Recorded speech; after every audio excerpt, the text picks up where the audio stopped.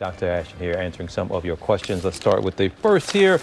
We have why has COVID 19 hit BIPOC communities the hardest? That's Black, Indigenous, and people of color. Well, this is something that, first of all, we have talked about from the beginning um, in this pandemic. It's about tracking data and seeing who the patient populations are so that they can be, um, you know, their care can be individualized. And for sure, Black and Indigenous and people of color have been hit hardest. Why is that? Complicated and complex reasons.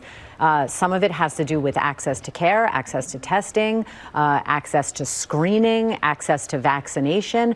A lot of it also has to do with higher rates of comorbidities amongst those people, higher rates of diabetes, obesity, hypertension. Um, it is a complicated issue, but I want to be crystal clear, TJ. In medicine today, the name of the game is individualized and personalized care, which means not one size fits all. So once you identify a group that is particularly hard hit for anything in medicine and public health, it is, it is really the onus is on us to help improve that in every and any way we can. All right, another question here, Dr. Ashton, is uh, back to basics. Mm-hmm. What's a proper serving of vegetables? A lot.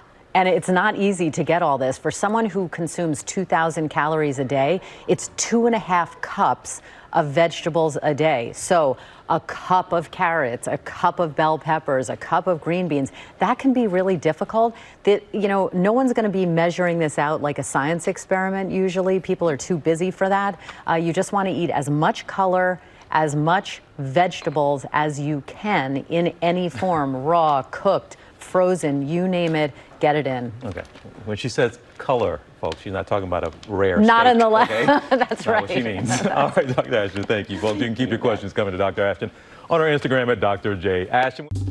Well, hey there, GMA fans. Robin Roberts here. Thanks for checking out our YouTube channel. Lots of great stuff here. So go on, click the subscribe button right over right over here to get more of awesome videos and content from GMA every day, anytime. We thank you for watching, and we'll see you in the morning on GMA.